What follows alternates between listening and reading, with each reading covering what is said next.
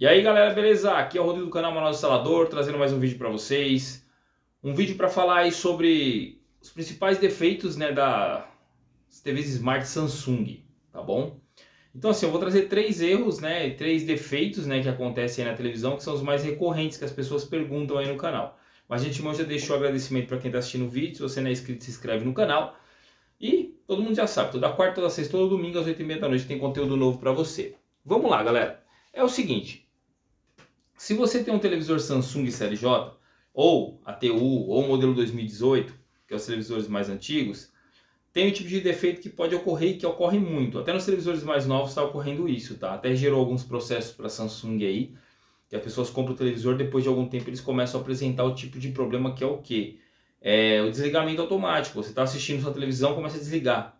Aí como se esquentasse desligasse. O que, que é isso? Isso aí é uma quebra de software que às vezes acontece, um problema técnico deles, que aí começa a dar esse problema. Você tem que levar na assistência, está trocando a peça e não é barato, tá? Ou às vezes até na placa de alimentação, mas a placa de alimentação não é tão cara. Eu até tenho vídeos aí no canal que é um televisor que não é smart, tá? Ele começou com esse problema e aí eu fui lá e tive que trocar a placa de alimentação. Pra você tem uma ideia, um televisor de 2014 meu, que não é smart, eu levei para trocar a placa de alimentação, os caras cobraram de mim 500 e lá vai cacetada assim, né? E aí eu comprei a mesma placa por 72 reais e troquei e eu mostro no canal como é que faz isso, tá? Então assim, eu sugiro, se o seu televisor começar a dar esse problema, leva numa assistência, eles vão passar o diagnóstico para você, ó, é isso, quer que arruma?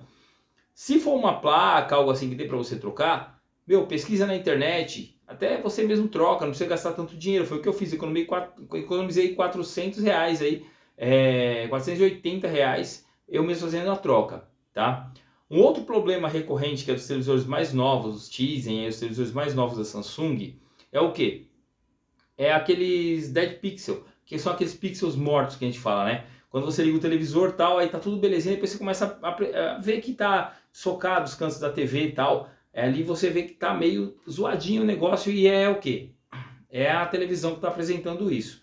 Ou um outro problema que acontece também são aqueles riscos, tá? Que aparece na televisão lateral assim, ou então ele tanto em horizontal quanto na vertical, ele vai aparecer para você é, uns riscos no televisor depois de um tempo. Isso também é um defeito que está acontecendo com a Samsung. Então assim, se você tem um televisor Samsung e você está apresentando um tipo de problema desse, eu sugiro você levar na assistência, tá? E ver qual é diagnóstico eles vão passar. Se for é, na tela, tipo risco mesmo verde ali aparecendo, ou então aquelas faixas, né, que eu digo, ou então os pixels mortos ali, os dead pixels, você tem que fazer a troca, não tem o que fazer, você vai ter que levar e ficar caro, às vezes é até melhor comprar um outro televisor. Tanto que as pergun pessoas perguntam para mim, qual televisor que você indica comprar? Eu comprei a LG e não me arrependo.